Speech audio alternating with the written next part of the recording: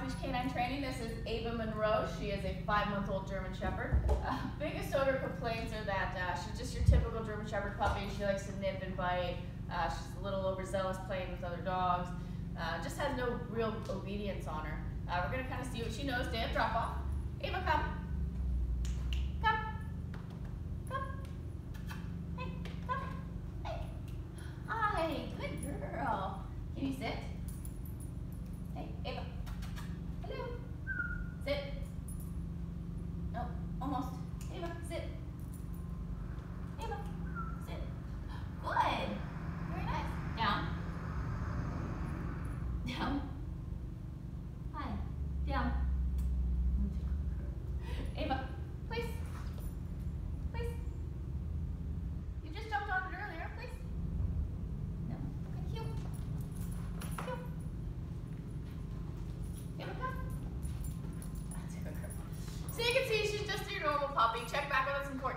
check out Amy's progress.